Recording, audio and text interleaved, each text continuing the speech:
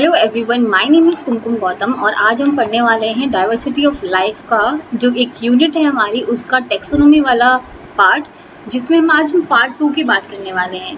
और इसमें हम लोग ऐसी डेफिनेशंस की बात करेंगे जो बहुत इंपॉर्टेंट है, जो हमेशा आती ही आती हैं। तो हम कुछ स्पेसिफिक स्पेसिफिक टॉपिक्स की बात करेंगे डेफिनेशंस की बात करेंगे और जो पर्टिकुलर चीज़ें आती हैं, उसके बारे में बात करने वाले हैं। और जो भी स्पेसिफिक है C S I U G C net के लिए, ठीक है? अगर तुम लोगों को C S I U G C net की अच्छे से प्रिपरेशन करनी है तो आप क्या कर सकते हैं? आप अन अकेडमी ज्वाइन कर सकते हैं। अन अकेडमी ज्वाइन करने के लिए आपको क्या करना है? आपको प्ले स्टोर पर जाना है अन अकेडमी ऐप को डाउनलोड करना है और आप वहाँ पर जाके सब्सक्रिप्शन ले सकते हैं। आप ऐसा नहीं है कि अगर C S I U G C net का आप सब्सक्रिप्शन ले रहे हैं और मेरे थ्रू ले रहे हैं तो ऐसा नहीं है कि सिर्फ़ आपको मेरी क्लास मिलने वाली है। आपको सारे टीचर्स की जितने भी C S I U G C net से रिलेटेड टीचर्स हैं उन सब की क्लासेस आपको देखने को मिलेंगी। आप क्या कर सकते हैं? आप अपने अकॉर्डिंग कितने भी मंथ्स का ले सकते हैं, चाहे वो सिक्स मंथ्स का हो सब्सक्रिप्शन ट्वेल्व मंथ्स का हो, या फिर ट्वेंटी फोर मंथ्स का हो। आप अपनी तैयारी के अकॉर्डिंग इसको ले सकते हैं। जब आप पेमेंट करेंगे, जब पेमेंट के टाइम पे आप क्या कर सकते हैं? आप पेमेंट के टाइम पे आप क्या कर सकते हैं? आप एक टेन परसेंट ऑफ़ के लिए अप्लाई कर सकते हैं टेन परसेंट ऑफ़ के लिए अप्लाई कर सकते हैं और उसके लिए आपको डालना होगा code that is Kumkum ten Kumkum ten code डालना पड़ेगा और आपको क्या मिल जाएगा? टेन परसेंट ऑफ़ मिल जाएगा। ठीक है कुमकुम टेन डाला और क्या मिल गया? टेन परसेंट ऑफ़ मिल गया। और रही पेमेंट की बात आपको पेमेंट इन तरीकों से, चाहे डेबिट कार्ड हो, चाहे ई हो, चाहे यूपीआई के थ्रू हो वॉलेट के थ्रू हो, आप कैसे भी पेमेंट कर सकते हैं। नाउ ये क्वेश्चन ये कल के लिए था। मतलब जो मैंने कल क्लास कराई थी, उसमें से एक क्वेश्चन जो मुझे लगा कि ये वाला भी प्रीवियस ईयर में जो आया हुआ है, ये इम्पोर्टेंट है। तो ये मैंने आज के लिए डाला है। चलो हम देख लेते हैं इसमें क्या पूछा है। इसने पूछा है विच ऑफ़ द फॉलोइंग एक second which of the following shows the correct ठीक है, क्या करेक्ट सिस्टमेटिक हियारकी किसमें इसमें से सबसे ज़्यादा करेक्ट सिस्टमिक हियारकी कौन शो कर रहा है? अगर मैं डी से करूँ, अगर लास्ट ऑप्शन से स्टार्ट करूँ मैं तो इसमें देखा है kingdom phylum class cohort order and family तो एक चीज़ बता देती हूँ मैं तुम्हें कि जो कोहोट होता है, वो क्लास और ऑर्डर के बीच में आता है। क्लास ऑर्डर ऑर्डर के बीच में आता है। और कल मैंने एक और चीज़ बताई थी, जो ट्राइब है, वो किसके बीच में आती है? फैमिली और जीनस के बीच में आती है। फैमिली और जीनस के बीच में आती है ट्राइब और अगर मैं कोहोट की बात करती हूँ तो वो किसके बीच में आता है? क्लास और ऑर्डर के बीच में आता है हमारा कोहोट तो कोहोट हो गया और ट्राइब हो गई. ना नेक्स्ट इज़ तो हमारा ये वाला तो गलत हो गया क्योंकि क्लास और कोहोट किसके बीच में आता है? ऑर्डर के बीच में आता है, यहाँ पे फैमिली आ रही है तो ये वाला क्या हो जाएगा? गलत हो जाएगा. नेक्स्ट सी ऑप्शन की बात करूँ, इसमें दे रखा है kingdom phylum class order cohort ये भी गलत हो गया, इसको इसके बीच में आना था. तो ये भी क्या हो जाएगा? हमारा गलत हो जाएगा। बी ऑप्शन की बात करूँ, इसमें रखा है किंगडम फाइलम फाइलम के बाद क्या आएगा? सब फाइलम ये सही है। सब फाइलम के बाद क्या आती? कोहोट कहाँ आता? क्लास और क्लास और फैमिली के बीच ऑर्डर के बीच में। लेकिन यहाँ पे आ रहा है क्या? कोड कहाँ रहा है? पहले पहुँच गया क्लास के ऊपर ही पहुँच गया। तो ये भी क्या हो गया? गलत हो गया। लास्ट ऑप्शन की बात करूँ, इसमें लिखा है किंगडम फाइलम फाइलम के बाद क्या आएगा? सब फाइलम सब फाइलम के पास सुपर क्लास जो क्लास की बड़ी होगी, वो सुपर होगी, जो नीचे होगी, सब क्लास होगी। सुपर क्लास क्लास उसके बाद सब क्लास क्लास के बाद कोहोट कोहोट के बाद ऑर्डर देखो क्लास ये हो गई और ऑर्डर ये हो गया, उसके बीच में क्या आ गया? कोहोट आ गया। तो ये सही होगा। ऑर्डर के बाद सब ऑर्डर ठीक है? फिर उसके बाद सुपर फैमिली फैमिली उसके बाद सब फैमिली फिर जीनस आएगा, फिर subgenus species and subspecies तो ये वाला क्या हो जाएगा हमारा? सही हो जाएगा। और इसको क्वेश्चन को ऐसे ही नहीं छोड़ना है, इसको याद कर लेना है। कुछ नहीं था इसमें कोहोट याद करना है ट्राइब याद करना है, और सब और सुपर क्लास तो तुम लगा ही लोगे। सुपर जो ऊपर होगी, सब मतलब नीचे जो होगा। ठीक है? आज की क्लास स्टार्ट करते हैं। आज हम पढ़ने वाले हैं बायोलॉजिकल स्पीशीज कॉन्सेप्ट ये जो बायोलॉजिकल स्पीशीज कॉन्सेप्ट है, अगर मैं पेपर के हिसाब से बात करूँ तो इसमें क्या आती है? डेफिनेशन आती है। ठीक है? इसकी डेफिनेशन आएगी। और तुम्हें समझना होगा कि अगर कोई पैराग्राफ दे दिया है और उसको पूछा गया है कि ये किसका है बायोलॉजिकल स्पीशीज कॉन्सेप्ट है या फिर टाइपोलॉजिकल स्पीशीज कॉन्सेप्ट है या फिर कौन सा स्पीशीज कॉन्सेप्ट है तो तुम्हें समझ में भी आना चाहिए कि बायोलॉजिकल स्पीशीज कॉन्सेप्ट होता क्या है। तो अंस्ट मेयर थे, उन्होंने क्या बोला? उन्होंने खुद ही बोला ये अंस्ट मेयर जो थे इनके अकॉर्डिंग क्या था कि स्पीशीज एक ग्रुप है। Species are the groups of interbreeding natural population that are reproductively isolated from such groups. उन्होंने बोला स्पीशीज एक ऐसा ग्रुप है जो नेचुरली इंटरब्रीड करती है, जो नेचुरली मीटिंग कर सकती है and that are reproductively isolated from other such groups जैसे माना, ये हमारी स्पीशीज ए है, ये हमारी स्पीशीज बी है। तो स्पीशीज ए के अंदर हमारी ए बी सी आ रखे हैं, और बी के अंदर क्या रखा है? वन टू एंड थ्री तो उन्होंने क्या बोला?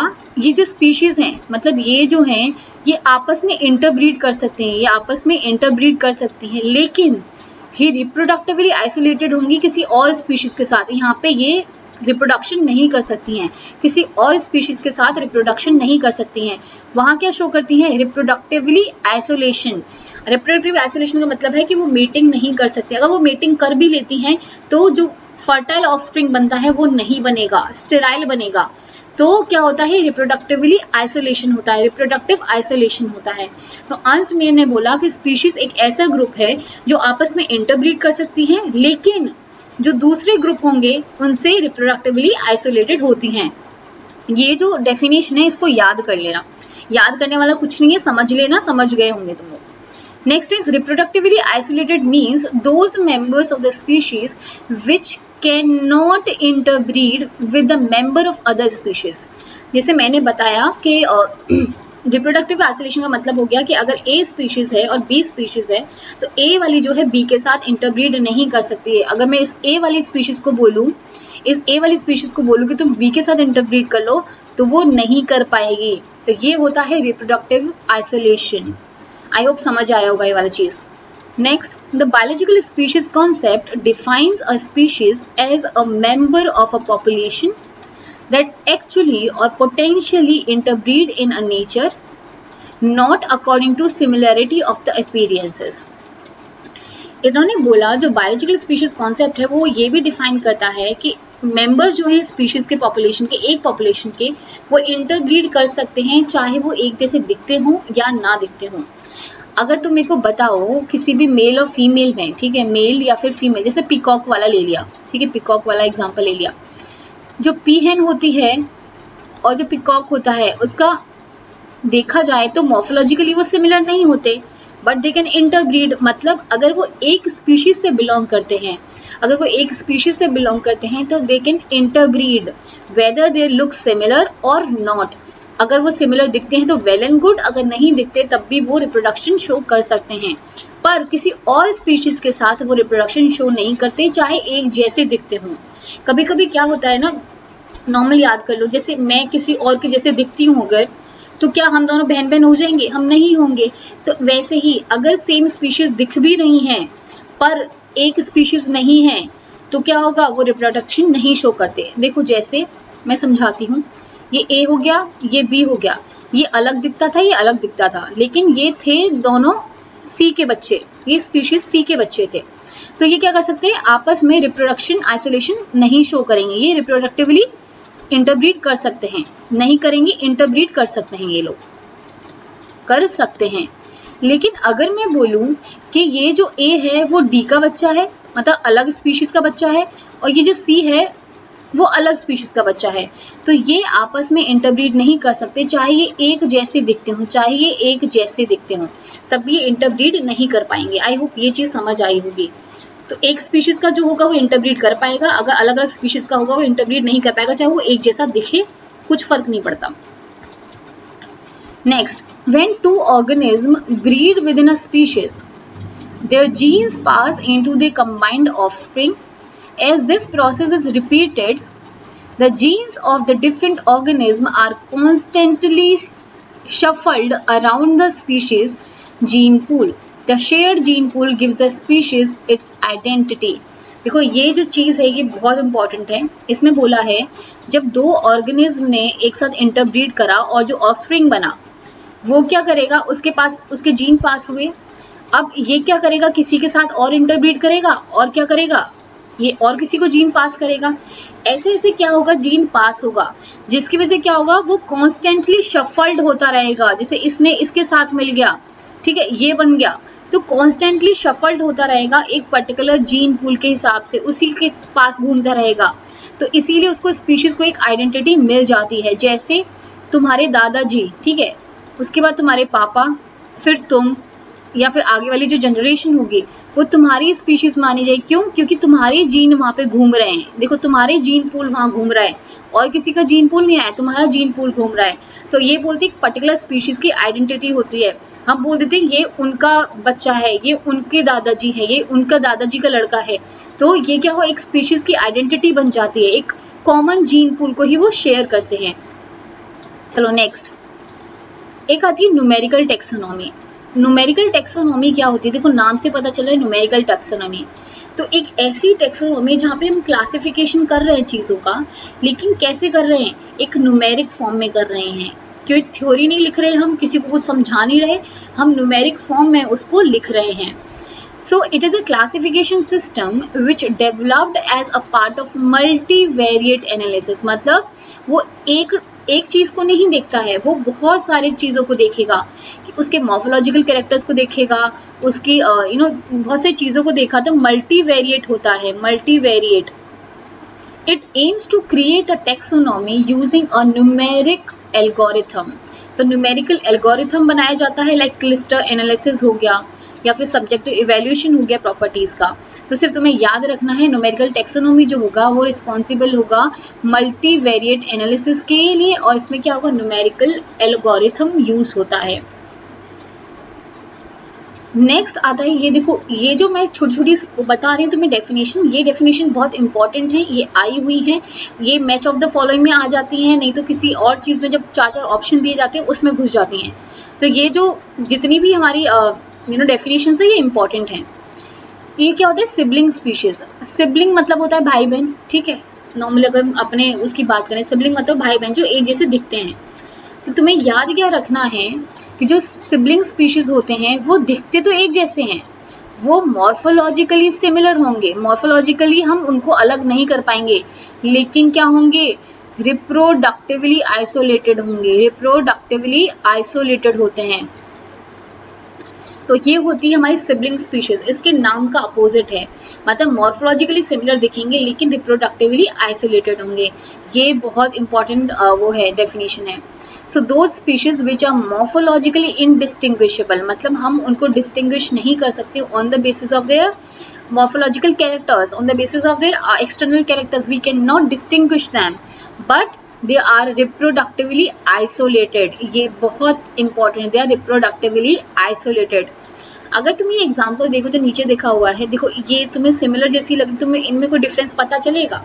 तुम्हें लग रहा होगा सब एक ही है। ये दोनों एक हैं और ये दोनों एक हैं, ये दोनों एक हैं, पर ये अलग अलग स्पीशीज हैं अलग अलग हैं। ऐसी स्पीशीज हैं जो दिखती सेम है मॉर्फोलॉजिकली सिमिलर हैं बट रिप्रोडक्टिवली आइसोलेटेड हैं, ये रिप्रोडक्शन नहीं कर सकती हैं। और अगर बाई चांस रिप्रोडक्शन करने की कोशिश भी करी तो फर्टाइल ऑफस्प्रिंग पैदा नहीं होगा। फर्टाइल ऑफस्प्रिंग पैदा नहीं होगा। देर विल बी स्टेराइल तो वो चीज़ पैदा ही नहीं होगी, ठीक है? तो इसीलिए रिप्रोडक्टिवली आइसोलेटेड बोला जाता है। नेक्स्ट है sub species this is also a very important sub species का मतलब तुम्हें समझ में आ रहा होगा। एक स्पीशीज थी उसके हमने थोड़े ग्रुप बना दिए और क्या बना दी? सब स्पीशीज बना दी। क्या बना दी? सब स्पीशीज बना दी। Now taxonomic sub division of the species is known as sub species a sub species देखो, ये वाली जो डेफिनेशन है, ये थोड़ी इंपॉर्टेंट है क्योंकि अंश मैंने खुद लिखा था तो उसके अकॉर्डिंग है ये। A subspecies is an aggregate of phenotypically similar population of a species inhabiting a geographical subdivision of the range of that species and differing taxonomically from other population of that species. Sub species का मतलब क्या हुआ? जैसे हम बोले जाते जैसे आ, कोई दिल्ली वाले लोग हो गए हो गए कर्नाटक वाले लोग हो गए या फिर उड़ीसा वाले लोग हो गए हम एक ही पर्टिकुलर एरिया को डिसाइड करते हम सब एक हैं। हम सेम स्पीशीज हैं लेकिन हमने क्या करा है? सब स्पीशीज बना रखी हैं। कि ये वहाँ के लोग हैं, ये यहाँ के लोग हैं पर्टिकुलर जोग्राफिकल एरिया में ये पाए जाते हैं, इनकी ये हैबिटेट हैं, वो फिनोटिकली सिमिलर दिखते हैं, हम अलग दिखते हैं। तो हमने क्या कर रखा है? सब स्पीशीज बना रखी हैं अपनी अपनी, ठीक है? तो सब स्पीशीज का मतलब ये हो गया कि जैसे ये थी एक हमारी पॉपुलेशन ठीक है? एक पर्टिकुलर एरिया में क्या हुआ? जैसे ये वाला एरिया हो गया तो इस वाले एरिया में तो ये ऐसे ऐसे दिखती है है ना? ऐसे ऐसे दिखती है, और एक वाले एरिया में ये ऐसे ऐसी दिखती है। पर ये थी एक ही स्पीशीज तो तुम देखो फिनोटोपिकली देखो, ये लोग कितने सेम हैं और ये लोग कितने सेम हैं। जो पर्टिकुलर एरिया में, देखो, ये इस एरिया में रह रहे हैं तो ये ऐसे दिख रहे हैं, ये वाले इस एरिया में रह रहे हैं तो ये ऐसे दिख रहे हैं। टेक्सोनॉमिकली ये डिफर कर from other population of that species तो ये एक स्पीशीज का ही पार्ट है, लेकिन क्या कर रहे हैं, वो टेक्सोनॉमिकली डिफर कर रहे हैं और मोफोलॉजिकली भी डिफर कर रहे हैं। तो इसीलिए बोला जाता है सब स्पीशीज मतलब ये इनका सब डिवीज़न हो गया है स्पीशीज का सब डिवीज़न हो गया है। अब क्वेश्चन कहाँ से आता है? ये तो आएगा ही आएगा। क्वेश्चन आएगा what is polytypic species polytypic species क्या है? पॉलिटिपिक स्पीशीज वो होती हैं, वैसी एक स्पीशीज जिसके पास दो या दो से ज़्यादा सब स्पीशीज हों। ठीक है, दो या दो से ज़्यादा सब स्पीशीज हो मतलब इतना हेट्रोजीनस सब स्पीशीज उसका हो। हेट्रोजीनस सब स्पीशीज हो। मतलब जैसे ये हमारी दो हो गई और एक और होती है ऐसे ऐसे करके ऐसे ऐसे करके कोई और होती तो एक स्पीशीज के तीन पार्ट हो गए, है ना? तीन अलग अलग चीज़ें हो गई तो ये क्या हो जाती है हमारी? पॉलीटिपिक स्पीशीज हो जाती। है पॉलीटिपिक स्पीशीज का मतलब क्या हुआ? उसके पास दो से ज़्यादा हमारी सब स्पीशीज होंगी then we call it is polytypic species next is monotypic species monotypic species का मतलब होता है मोनो मतलब सिमिलर मतलब single sorry single monotypic species का मतलब होगा that are not sub divided that are not sub divided into sub species मतलब एक स्पीशीज है ये तो वो सब जगह एक जैसी ही है, सब जगह एक जैसी है. जैसे ये वाला तो ये क्या हो जाएगा हमारा? मोनोटिपिक हो जाएगा. कोई डिवीज़न नहीं है, कोई सब डिवीज़न नहीं है. वहाँ पे सब लोग समान हैं, जैसे एक है, वैसे दो हैं, सब सेम है, सब इक्वल है। लेकिन पॉलिटिपिक में क्या है? बहुत सारी सब स्पीशीज हैं। तब हम बोलेंगे उसको पॉलिटिपिक स्पीशीज अब जितनी भी मैं डेफिनेशन बता रही हूँ, मेरे को नहीं बोलना पड़ेगा कि वो इम्पोर्टेंट है, क्योंकि सारी की सारी हैं। क्योंकि मैंने वही डाली हैं जो आती हैं और जो आ सकती हैं। नेक्स्ट इज़ क्लाइन क्लाइन क्या होता है? It is a term which is coined by Huxley Huxley ने इस टर्म को पॉइंट किया था। A cline is a series, is formed by a series of contiguous population in which a given character changes gradually. देखो, जैसे ये हमारा character था कोई, जैसे हम लोग नहीं होते कि जैसे माना ये हो गया तुम्हारा यूपी हो गया जैसे। तो जैसे यहाँ के नॉर्थ यूपी के लोग अलग होंगे थोड़े थोड़े तो आगे जाओगे तुम साउथ की ओर जाओगे तो वहाँ पे क्या हो जाएगा? लोग अलग हो जाएँगे। अब ऐसा तो है नहीं कि स्पीशीज अलग है स्पीशीज तो सेम है, लेकिन क्या हो रहा है कैरेक्टर चेंज हो रहे हैं ग्रेजुअली चेंज हो रहे हैं। ऐसा नहीं, एक साथ ड्रेस्टिक चेंज नहीं आया है। ग्रेजुअली मतलब धीरे धीरे चेंज हो रहे हैं। जैसे पहले यहाँ पे जो लोग थे, वो थोड़े थोड़े ऐसे दिखते थे। फिर धीरे धीरे क्या हुआ? धीरे धीरे थोड़े ऐसे ऐसे दिखने लगे, फिर थोड़े थोड़े बड़े बड़े हो गए, फिर थोड़े थोड़े ऐसे आ गए, फिर थोड़े ज़्यादा ज़्यादा ये आने लग गए। लास्ट में क्या हुआ? ये ज़्यादा ज़्यादा आ गए। तो क्या ग्रेजुअल चेंज हुआ है। Series of contiguous population in which a given character changes gradually उसको क्या बोलते हैं? हम क्लाइन बोलते हैं। ठीक है नेक्स्ट इज़ आता है हमारा आइसोफीन आई होप ये वाला समझ आया होगा तुम्हें। है ना? आइसोफीन की बात करें आइसोफीन का मतलब है at a right angle to the cline are the lines of equal expression of the character. The point of a point of identical phenotype. This type of line is called isophene. जैसे ये हमारा gradual change हो रहा था, ठीक है? ये हमारा ग्रेजुअल चेंज हो रहा था एक पर्टिकुलर पॉपुलेशन में। देखो, ये पॉपुलेशन थी, इसमें क्या हो रहा था? ग्रेजुअल चेंज हो रहा था। अब अगर मैं राइट एंगल यहाँ से खींचू, एक पर्टिकुलर एरिया पे मैं राइट एंगल खींचूँगी तो यहाँ पे जितनी भी स्पीशीज होंगी, इसके आसपास वाली, वो कैसी होंगी? आइडेंटिकल होंगी। आइडेंटिकल फिनोटाइप शो करेंगी, एक जैसा फिनोटाइप शो करेंगी। ऑब्वियसली अगर मैं एक पर्टिकुलर एरिया को देखूँगी उस पर राइट एंगल पे अगर सारे एरिया को कवर करूँगी तो वहाँ पे कैसे होंगी? आइडेंटिकल फिनोटाइप मिलेंगे इक्वल एक्सप्रेशन मिलेगा कैरेक्टर का। उसको क्या बोलते हैं? आइसोफिन आइसो मतलब क्या होता है? आइसो का मतलब क्या होता है? इक्वली डिवाइड है ना? तो आइसोफिन मतलब एक जैसा इक्वली ठीक है? इक्वली एक जैसा फिन मतलब फिनोटाइप एक जैसा फिनोटाइप मिलेगा। फिन मतलब फिनोटाइप आइसो मतलब equal equal expression of character जहाँ मिलेगा उसको बोलेंगे हम आइसोफिन नेक्स्ट आती है रेस रेस क्या होती है? रेस हमारे ह्यूमन पॉपुलेशन में बोलते हैं नॉर्मली रेस मतलब हम बोलते हैं अफ्रीकन रेस का है वो इंसान. वो इंडियन रेस का है, वो ऑस्ट्रेलियन रेस का है. तो अलग अलग एक ही स्पीशीज हैं, हम होमोसेपियंस हैं, एक ही स्पीशीज हैं, लेकिन हमारी रेस अलग अलग हैं. वो अफ्रीकन स्पीशीज है, उसका अलग फिनोटिपिकली कैरेक्टर्स हैं। अगर मैं इंडियंस की बात करूँ, हमारा अलग है। ऑस्ट्रेलियन की बात करूँ, अलग है। तो जो रेस वर्ड यूज़ होता है, वो नॉर्मली ह्यूमन पॉपुलेशन में होता है, जहाँ पे हमारा मॉर्फोलॉजिकल जब करेक्टर चेंज हो जाता है according to the geographical distribution उसको बोला जाता है रेस आई होप ये समझ आया होगा। नेक्स्ट अदर फेनेटिक्स फेनेटिक्स का मतलब होता है phenetics means as observed in the phenotype मतलब जो देखा गया है as observed in the phenotype ज़्यादा दिमाग नहीं लगाया, सिर्फ़ फिनोटाइप देखा है। उसके हिसाब से जो करा है। ऑल्सो कॉल्ड टेक्सी मैट्रिक्स इसको क्या बोलते हैं? टेक्सी मैट्रिक्स बोलते हैं।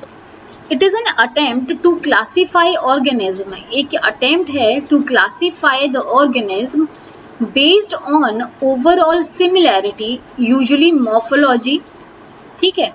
रिगार्डलेस ऑफ़ द फाइलोजेनी और इवोल्यूशनरी रिलेशनशिप इसका मतलब क्या हुआ? फेनेटिक्स एक ऐसी स्टडी है, एक ऐसा अटेम्प्ट है, जहाँ पे हम ऑर्गेनिज्म को क्लासीफाई करते हैं। जैसे हमने ए बोला बी बोला सी बोला, ये हमने क्लासीफाई करा ऑर्गेनिज्म को on the basis of the similarity किसमें सिमिलैरिटी के बेसिस पे? अब फेनेटिक्स है। फेनेटिक्स मतलब फेनेटिक्स मतलब मॉर्फोलॉजिकल है ना? तो क्या होगा? मॉर्फोलॉजी के बेसिस पे मॉर्फोलॉजी के बेसिस पे मतलब ऊपर वाले फिनोटिपिक करेक्टर्स को देख के, किसको देख के? फिनोटिपिक करेक्टर्स को देख के, उसके ऊपर कैसा दिख रहा है वो, उसके हिसाब से हमने क्या करा? स्पीशीज को क्लासिफाई कर दिया, ठीक है? और हमने क्लासिफाई कर दिया ऑर्गेनिज्म को। हमने ये नहीं जाना वो सेम एंसेस्टर से आए हैं या नहीं उनकी कोई फाइलोजेनी है या नहीं, कोई इवोल्यूशनरी रिलेशनशिप है क्या नहीं, हमें कोई मतलब नहीं। हमने फेनेटिक्स में क्या करा, सिर्फ़ हमने ऊपर वाला देखा उनका कि कैसा दिख रहा है एक्सटर्नल अपीयरेंस उसके बेसिस पे हमने क्लासिफाई कर दिया।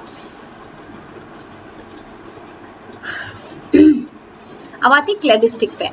ये जो क्लेडिस्टिक होता है क्लेडिस्टिक का मतलब होता है जहाँ पे हम किसी भी की इवोल्यूशनरी हिस्ट्री को देख के बात करें। इवोल्यूशनरी रिलेशनशिप को देख के बात करेंगे, तब क्लेडिस्टिक आ जाएगा। ठीक है? The evolutionary relationship of an organism is referred at phylogeny phylogeny का मतलब होता है कि जब हम किसी की इवोल्यूशनरी हिस्ट्री की बात करें, या फिर इवोल्यूशनरी रिलेशनशिप की बात करें मतलब अपने एंसेस्टर की जब बात करते हैं, उस टाइम पे हम वर्ड यूज़ करते हैं दैट इज़ फाइलोजेनी ठीक है? फाइलोजेनी यूज़ करते हैं।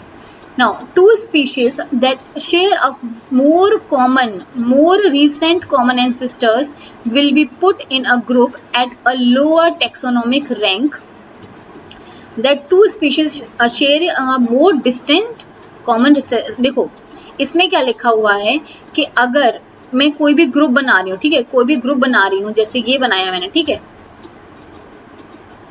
तो जो मैं सबसे कॉमन एंसेस्टर होगा मतलब जो रिसेंट वाला होगा ठीक है जो रिसेंट वाला होगा उसको हम कहा रखेंगे? लोअर टेक्सोनॉमिक रैंक में रखेंगे that the two species sharing a common distance common ancestors ये मैं आगे उसके थ्रू समझाने वाली हूँ क्लेडिस्टिक के थ्रू ये अभी इतना ही रहने दो इसको छोड़ो। Branch of the systematic with uh, inferring phylogeny is known as cladistic. मतलब एक ब्रांच है सिस्टमेटिक की। सिस्टमेटिक क्या होता है? एक पर्टिकुलर वे में पढ़ाई करना सिस्टमेटिकली पढ़ाई करना सिस्टमेटिकली कंसर्न करना किसी चीज़ के बारे में।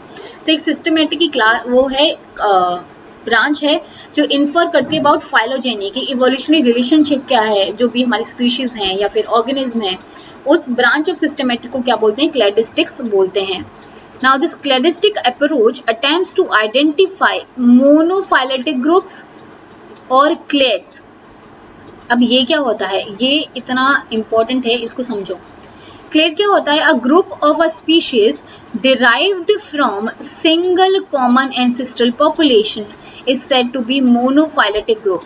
मतलब एक ऐसा ग्रुप स्पीशीज का जो डिराइव किया गया है from a single common ancestor population is called a monophyletic group अब देखो कैसे देखो, जैसे मैंने ये बताया, जो सबसे ज़्यादा एडवांस होगा, जैसे ये हमारा एंसेस्टर था, ठीक है, ये हमारा एंसेस्टर कॉमन तो देखो, ये ये तो हमारा क्या हो गया, पीछे वाला हो गया मतलब जो लेस एडवांस है, ये क्या हो गया हमारा, जो बहुत ज़्यादा एडवांस है, ठीक है तो डिफरेंस देख रहे हो तुम इन लोगों में, इसमें और इसमें डिफरेंस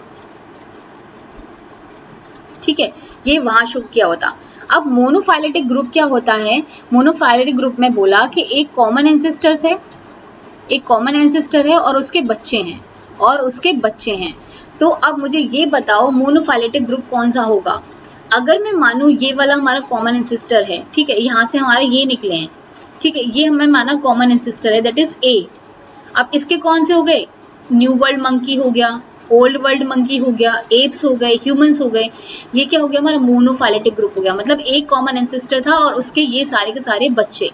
ठीक है? अगर ये सब इंक्लूडेड है तो हम उसको बोलते हैं मोनोफाइलेटिक ग्रुप तो क्या क्या इंक्लूड होगा इसमें इंक्लूड होगा single common ancestor single common ancestor population is set to be monophyletic group it is a clade consisting of ancestor and all ये याद रखो एंड ऑल इट्स डिसेंडेंट्स देखो, इसके अगर मैंने इसको मोनोफाइलेटिक ग्रुप बोला है तो मैं इसको भी लूँगी ऑल ऑल डिसेंडेंट्स तो मैं इसको भी लूँगी मैं इसको भी लूँगी, मैं इसको भी लूँगी और इसको भी लूँगी। मतलब ऑल डिसेंडेंट्स जो होंगे, वो मेरे मोनोफाइलेटिक ग्रुप में आएँगे। ये क्वेश्चन पेपर में आता है, ये पूरा ग्राफ बना के दे दिया जाएगा। जब मैं कल क्वेश्चन सॉल्व कराऊँगी इससे रिलेटेड तो तुम देखना, इसके बहुत सारे क्वेश्चन आए हुए हैं। Now next is paraphyletic group देखो पैराफाइलेटिक ग्रुप का मतलब होता है कि पहले था मोनोफाइलेटिक मतलब सिंगल कॉमन एंसेस्टर था, और उसके सारे डिसेंडेंट जो थे, वो एक चीज़ में इंक्लूडेड थे। पैराफाइलेटिक मतलब हो गया कन्वर्स ऑफ़ मोनोफाइली मोनोफाइली मतलब monophyletic group monophyletic group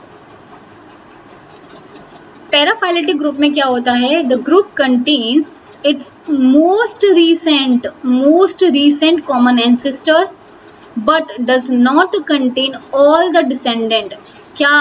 Does not contain all the descendants of that ancestor ये याद रखना this is very important para की बात कर रही हूँ। पैरा का मतलब होता है नेबर वाला। जैसे तुम याद करते हो ना, पैरा पैराक्राइन फैक्टर याद करते हो। पैरा पैराक्राइन फैक्टर का मतलब क्या होता है? जो पड़ोसी पे भी इफ़ेक्ट डाल रहा है, ठीक है? जो पड़ोसी पे भी इफ़ेक्ट डाल रहा है। तो ये पैराफाइलेटिक ग्रुप का मतलब होता है कि जो दूसरों के बच्चे पे भी नज़र डाला लेकिन सारे बच्चों पे नहीं डाल पा रहा, कुछ ही बच्चों पे डाल पा रहा है। Does not contain all the descendants देखो, अब पैराफाइलिक की बात करें तो देखो ये हमारा जैसे माना एक कॉमन हो गया रिसेंट कॉमन एंसेस्टर हो गया हमारा।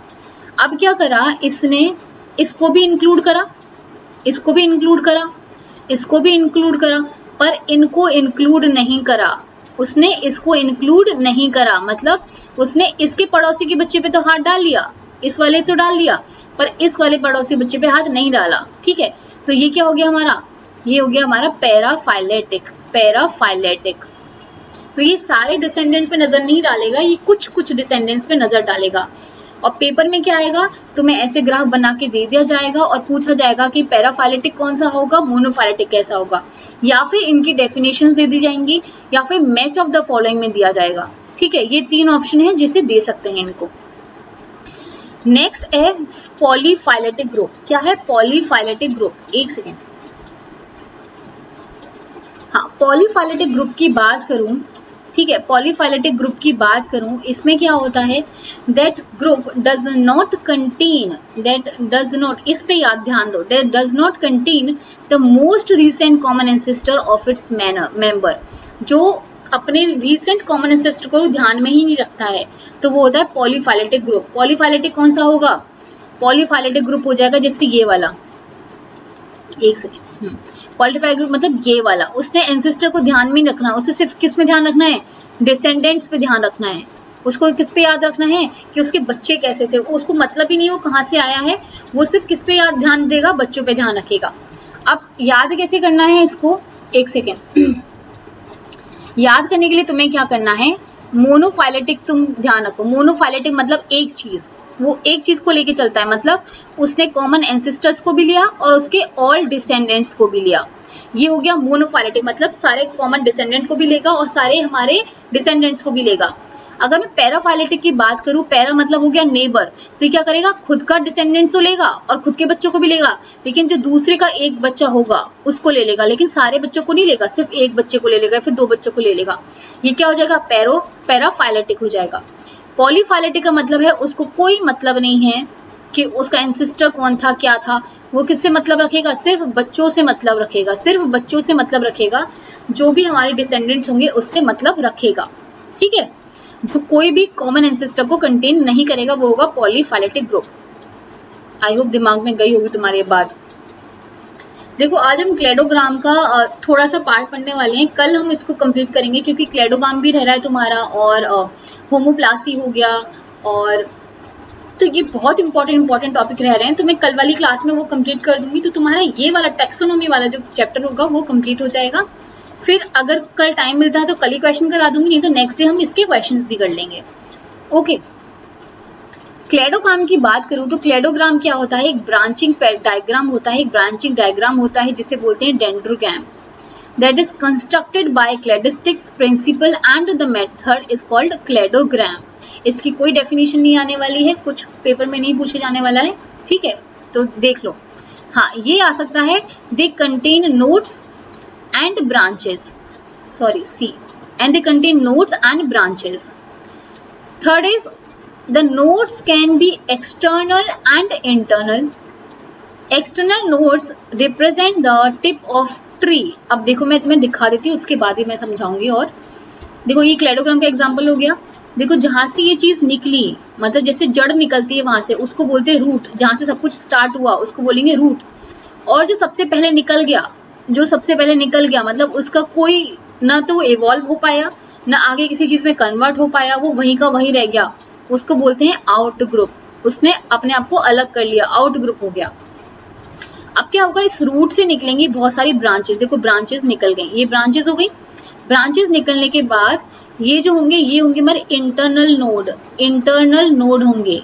इंटरनल नोड और ये वाली जो चीज़ें होंगी, ये होंगे हमारे टर्मिनल नोड या फिर टर्मिनल नोड या फिर बोलेंगे इनको एक्सटर्नल नोड एक्सटर्नल नोड बोलेंगे इनको। ठीक है? ये हमारा taxon one taxon two and taxon three और ये सब किसके अंदर आते हैं? इन ग्रुप मतलब ये एक ही ग्रुप के वो हैं, इन ग्रुप में आ रखे हैं। और ये क्या हो गया? हमारा आउट ग्रुप जो बिल्कुल बाहर निकल गया।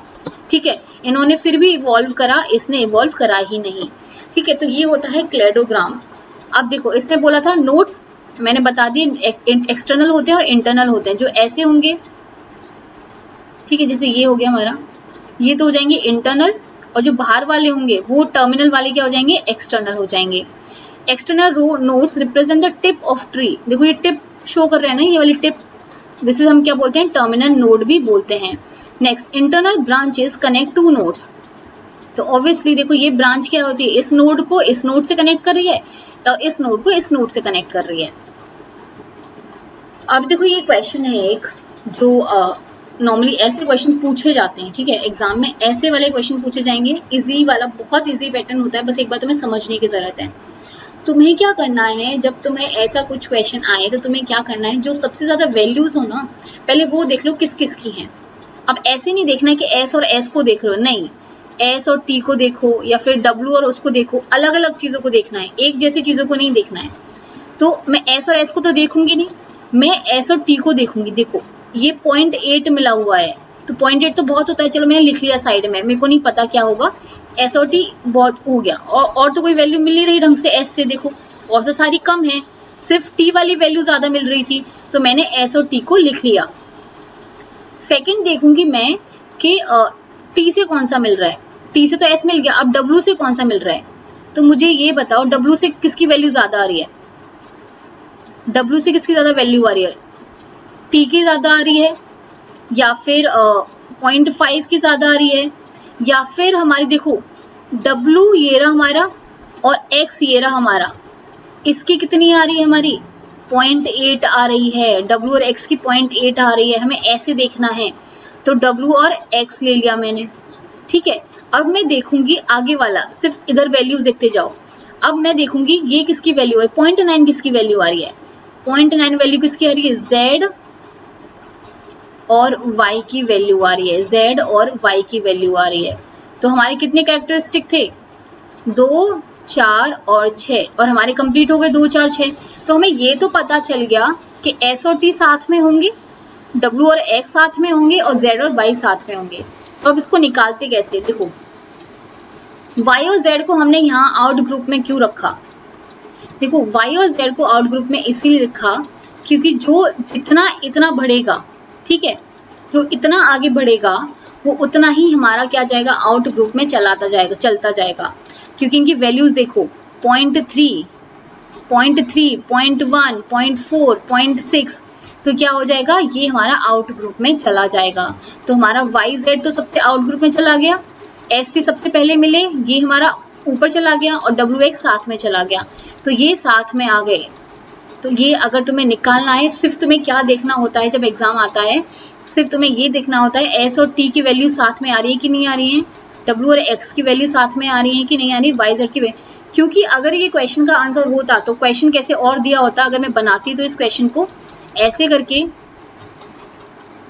यहाँ पे दे दिया होता था एस ठीक है? यहाँ पे दे दिया होता डब्ल्यू ठीक है? उसके बाद यहाँ पे दिया होता हमारा टी यहाँ पे दिया होता एक्स तो वो क्या करते हैं? इन चीज़ों को एक्सचेंज करते हैं। इन चीज़ों को इन चीज़ों को चेंज करते हैं। इन चीज़ों को चेंज करते हैं। अगर तुम्हें ये निकालना आ गया साथ वाला तो तुम क्या कर सकते हो? इस क्वेश्चन को सही कर सकते हो। बहुत इजी क्वेश्चन हो जाता है अगर तुम्हें ये चीज़ निकालनी आ गई है तो। हम इस पर क्वेश्चन भी करेंगे। जब भी, भी ये खत्म हो जाएगा सारी चीज़ें तो हम क्वेश्चन भी करेंगे तो और क्लियर हो जाएगा माइंड में। देखो ये क्वेश्चन आया हुआ है प्रीवियस से क्वेश्चन है। आई थिंक बी सेक्शन का क्वेश्चन है अ पैराफाइलेटिक ग्रुप इज़ अब देखो, ये ऐसे डेफिनेशन आई हुई है। अब तुम देखो। कंटेन्स अनरिलेटेड ऑर्गेनिज्म ऐसा कुछ है कि अनरिलेटेड ऑर्गेनिज्म को कंटेन करेगा? Include most recent common ancestor but not all descendants I think मैंने तुम्हें यही पढ़ाया था कि मोस्ट कॉमन रिसेंट एंसिस्टर्स को तो कंटेन करेगा ही करेगा बट सारे डिसेंडेंट्स को नहीं लेता है। पड़ोसी के बच्चे को तो लेगा, सिर्फ़ एक या दो को लेगा, सारे बच्चों को नहीं लेगा। तो ये क्या हो जाएगा? सही आंसर हो जाएगा। फिर भी सी वाला पढ़ लेते हैं। Include all the representative of clade ऐसा कुछ है? मैंने कहीं बोला कि सारे क्लेड के रिप्रेजेंटेटिव को उसने क्या कर रखा है? इंक्लूड कर रखा है। But not most common ancestors तो ये तो गलत हो गया। कंटेन ऑल द रिप्रेजेंट यहाँ पे ऑल देखते तुम्हें क्या कर देना था? इसको काट देना था कि ऐसा कुछ होता ही नहीं है। Now next is cladistic classification is based on जो क्लेडिस्टिक क्लासिफिकेशन की हम बात करते हैं वो किस पे बेस है? Sequential order in which branches arise from a phylogenetic tree ऐसा कुछ है? या फिर नेक्स्ट है the order of the sequence divergence third is morphological features and skeleton of individual या फिर सेलुलर ऑर्गेनाइजेशन एंड साइटोस्केलेटन तो मैंने अभी तुम्हें बताया कि यहाँ पे क्या निकलती हैं? ब्रांचेस निकलती हैं। ब्रांचेस पे क्या होते हैं हमारे? ये हमारा कॉमन इंसिस्टर्स होता है। मतलब ये फाइलोजेनी भी शो कर रहा है और इस पे ब्रांचेस भी आ रही हैं। तो आंसर कौन सा होगा? आंसर विल बी और फ़र्स्ट फ़र्स्ट वाला आंसर होगा तो क्वेश्चन ऐसे आने वाले हैं। देखो क्लेडिस्टिक क्लासिफिकेशन देखो कितना रिलेट कर गया। तुमने एक पूरा पढ़ा और तुम्हें ये चीज़ें भी निकल के आ गई। अब हम जो नेक्स्ट क्लास में पढ़ेंगे, हम होमोप्लासी कंप्लीट करेंगे और जो बहुत इंपॉर्टेंट इंपॉर्टेंट चीज़ें हैं, वो कवर करने वाले हैं। इसके बाद तुम्हारा ये टेक्सोनॉमी वाला कवर हो जाएगा, इससे ज़्यादा इसमें कुछ नहीं आएगा। तो आई होप तुम लोगों को समझ आई होगी चीज़ें। आशा करती हूँ मैं। और धन्यवाद देखने के लिए और अगर आपको पसंद आई है तो प्लीज़ सब्सक्राइब करें चैनल को और मेरे साथ आप अन अकेडमी पर भी जुड़ सकते हैं। मैं वहाँ पे भी क्लास लेती हूँ। अन अकेडमी पे सुबह दस बजे क्लास लेती हूँ मैं। तो आप मुझे वहाँ पे भी जुड़ सकते हैं। कुमकुम गौतम के नाम से ढूंढेगा आपको मिल जाऊँगी। ठीक है? Thank you so much for watching this video thank you